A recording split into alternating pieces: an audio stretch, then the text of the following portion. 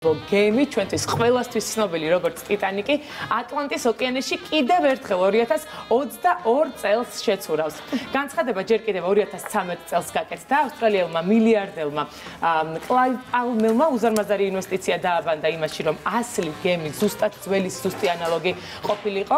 როგორც უცხოური გამოცემები წერენ, ფინანსური პრობლემების გამო 13 წლით შეჩერებული იყო სამუშაოები, თუმცა ახლა ყველა საკითხი გადაჭრილია და გემი მოგზაურობისთვის მზად 4 წელი წელიწადში იქნება. ის ზუსტად იმ მარშრუტს გაივლის, რომელიც 1912 წელს პირველ ტიტანიკს უნდა გაევლო, მაგრამ საშინელი ტრაგედიის გამო რა თქმა უნდა ვერ შეძლო. როგორი იქნება ლეგენდარული გემის ახალი ვერსია, ნახეთ უკვე ჩვენს სიუჟეტში.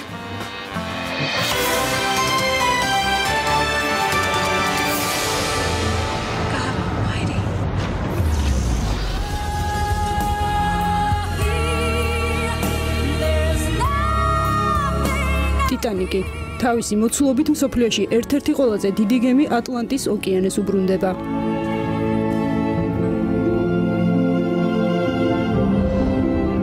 ასეთი იქნება 1912 წელს ოკეანის ფსკერზე გაუჩინარებული გემის პროტოტიპი, რომელიც წყალში 2022 წელს შეცურავს.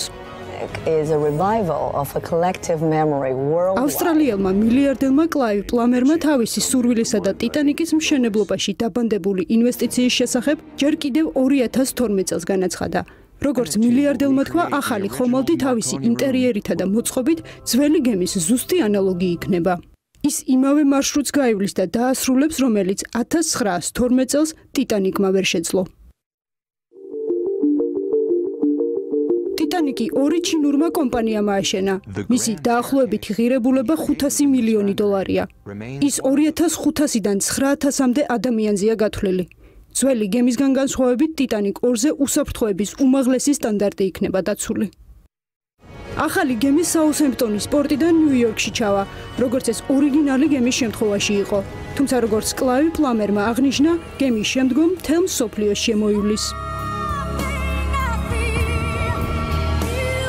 ჯერჯერობით უცნობია რა იქნება ბილეთის ფასი და როდის გაიყიდება.